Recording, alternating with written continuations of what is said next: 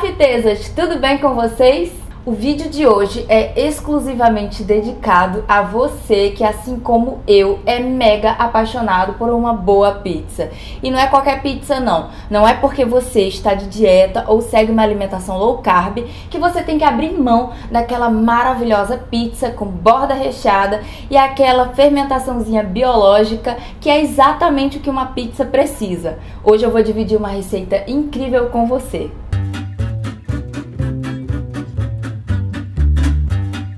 Mas minha fiteza, antes de começar essa receita, já dá um joinha nesse vídeo pra mim. Isso é muito importante pra gente ajudar o canal a crescer, a divulgar o canal. Aproveita também e me segue nas redes sociais, que assim a gente pode ficar cada vez mais pertinho. Ah, e se você não for inscrito ainda no canal, não perde mais tempo, se inscreve e quando se inscrever, marca o sininho do YouTube, que aí o YouTube vai te avisar toda vez que subir conteúdo novo aqui no canal. Mas agora sim, vamos começar a nossa pizza maravilhosa. Para iniciar, você vai colocar dentro de um bowl 10 gramas de fermento biológico seco, que é a quantidade equivalente a um pacotinho que você compra no mercado. Junto com esse fermento, você vai colocar também duas colheres de sopa de psyllium em pó. Junto, você vai colocar também uma colherzinha de chá de açúcar de coco. Pode ser açúcar de coco, pode ser açúcar demerara, pode ser açúcar mascavo, enfim, o que você preferir. Essa quantidadezinha bem pequenininha de açúcar é somente para o nosso fermento ter o que comer para a massa poder crescer. Daí você vai colocar também uma colher de sopa de azeite de oliva extra virgem, aquele óleo maravilhoso que é super de Deus. Para finalizar essa nossa mistura inicial, você vai colocar também duas colheres de sopa de creme de leite, tanto pode ser aquele de caixinha como de latinha, tanto faz. E você vai colocar também 3 quartos de xícara de água morna. A água morna que eu tô te falando aqui é aquela mesma água morna que eu usei nessa receita aqui de pão multigrãos e nessa receita aqui de baguete. É uma água que quando você colocar o seu dedo e contar 10 segundos, você vai conseguir suportar de boa. Não pode ser muito quente, tá bom? Cuidado com isso, porque senão você vai queimar o seu fermento, você vai matar o seu fermento. Então atenção. Colocou tudo isso daí dentro de um bowl, agora você vai dar uma misturadinha bem suave, só até tudo se homogeneizar. E aí você vai cobrir com um paninho de prato, levar essa mistura para dentro do forno desligado e deixar descansar por 10 minutinhos. Enquanto tá correndo aí esses 10 minutinhos, você vai pegar uma outra vasilha e aí a gente vai misturar os nossos secos. Você vai colocar dentro dessa outra vasilha uma xícara e meia de farinha de berinjela. Junto, coloque também uma xícara de farinha de linhaça. Coloque também uma colherzinha de chá de sal, tanto pode ser o marinho como pode ser o rosa, eu estou usando o marinho. Agora você vai misturar todos esses secos muito bem até ficar tudo bem homogêneo. Daí você vai tirar para fermentação do forno e vai misturar junto com esses secos. Mistura, você pode iniciar misturando com uma espátula, um garfo, uma colher, enfim, para tudo não grudar na sua mão, porque tá bem molhadinho. Depois que começar a homogeneizar, ficar tudo mais sequinho, você coloca a mão na massa, dá uma leve, como é o nome? Eu sempre esqueço. É Como que é o nome? Sovada. Pô, sovada? É, sovar. Sovada é uma palavra ruim de lembrar mesmo, eu não lembraria. Mas eu já tenho o costume de falar e eu sempre esqueço.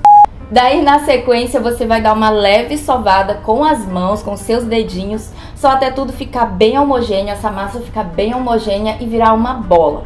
Virou uma bola, pode parar de sovar e aí você vai pegar mais um pouco de água morna, daquele mesmo jeitinho da pré-fermentação e um pincel culinário.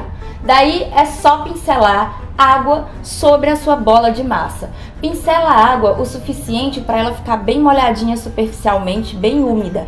Isso é muito importante para a hora que a nossa massa crescer, ela não ficar ressecada, não ficar quebradiça. Umedeceu toda a sua massa, agora você vai cobrir novamente com um paninho de prato limpo, levar para o forno desligado e deixar essa massa fermentar por 30 minutinhos. Passados 30 minutos, a sua massa fermentou, está maravilhosa e prontíssima para você montar a sua pizza maravilhosa. Tirou a massa do forno, aproveita, já dá uma ligada aí no forno, deixa ele pré-aquecendo a 180 graus enquanto a gente monta a nossa pizza.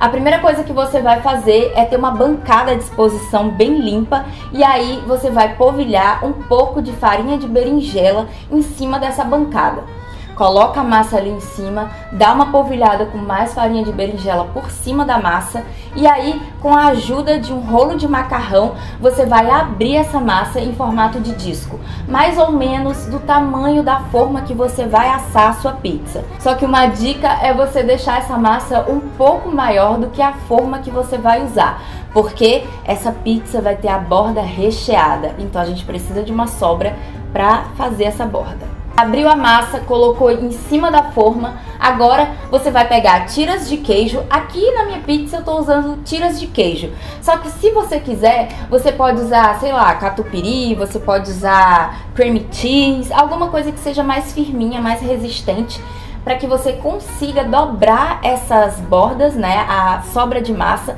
para dentro da pizza, formando ali a bordinha. Então, se for alguma coisa muito líquida, muito molinha, tipo um requeijão, pode ser que você tenha um pouco de dificuldade de fechar a sua borda. Fechou aí toda a sua borda, recheou tudo, tá maravilhoso. Agora você vai colocar em cima da sua pizza um molho de tomate bem delicioso, que é para dar um tchan maravilhoso nessa pizza. Eu te recomendo inclusive a usar aquele molho de tomate Mara que eu já te ensinei a fazer aqui no canal. É só clicar aqui no card se você ainda não viu ou se você quer relembrar. Completou aí a sua massa com bastante molho de tomate para ela ficar bem molhadinha. Agora você vai colocar queijo ralado, queijo picado, fatias de queijo, tanto faz que você preferir em cima da sua pizza. Eu finalizei a minha pizza com bastante orégano, porque eu amo de paixão orégano.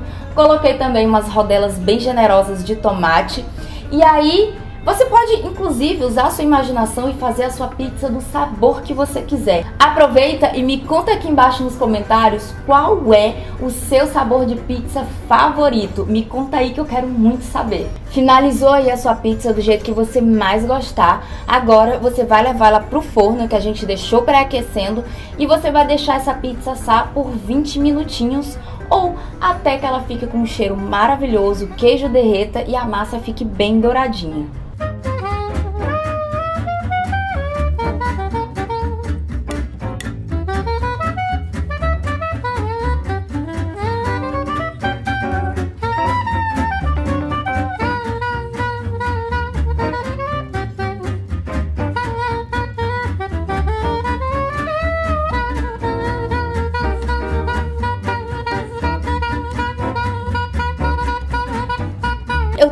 Certeza que todo mundo que comer essa maravilha vai se apaixonar.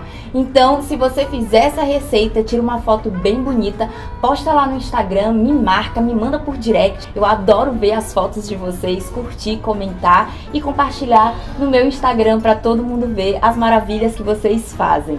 Não esquece de curtir esse vídeo, compartilhar com aquela pessoa que você sabe que é alucinada por pizza. Eu te espero aqui na próxima receita, na próxima semana. Um beijo bem grandão, minha fiteza. Tchau!